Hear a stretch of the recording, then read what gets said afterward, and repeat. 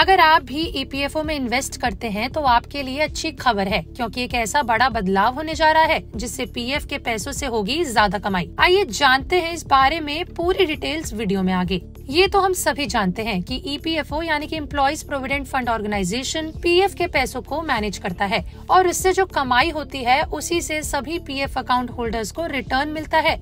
इसके लिए पीएफ से कलेक्ट हुए फंड को कई जगहों पर इन्वेस्ट किया जाता है। अब ईपीएफओ उन पैसों पर ज़्यादा रिटर्न पाने की कोशिश में है और इस काम के लिए ईटीएफ यानी कि एक्सचेंज ट्रेडेड फंड से मिल रही रकम को फिर से शेयर मार्केट में डालने की प्लानिंग में है। इस चीज़ के लिए ईपीएफओ ने मिनिस्ट्री ऑफ़ फाइनेंस से संपर्क किया है और इसके लिए प्रपोजल में ऐसी चीज़ जोड़ी है जिससे ये इंश्योर होगा कि शेयर्स में इन्वेस्ट से ज़्यादा से ज़्यादा कमाई हो और साथ ही मार्केट की उथल पुथल से नुकसान की आशंकाएँ कम से कम रहे।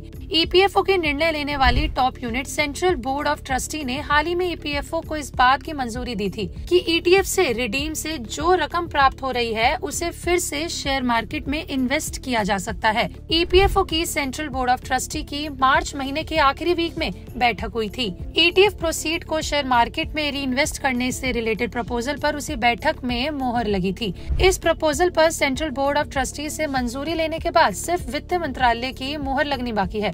एक बार जब ईपीएफ को वित्त मंत्रालय से मंजूरी मिल जाएगी, तभी ईटीएफ प्रोसीड को शेयर मार्केट में फिर से इन्वेस्ट करना पॉसिबल हो पाएगा। अभी नियामक कहते हैं कि ईपीएफओ अपनी कमाई के 5 से 15 परसेंट को इक्विटी या उससे जुड़े साधनों में लगा सकता है। आपने भी ईपीएफओ में पैसे लगाए हैं, हमें कॉमेंट में लिख के ज़रूर बताएँ। अगर आपको हमारी वीडियो अच्छी लगी हो तो लाइक शेयर करना ना भूलें और हमारे चैनल पर लाइव को अभी सब्सक्राइब कर लें।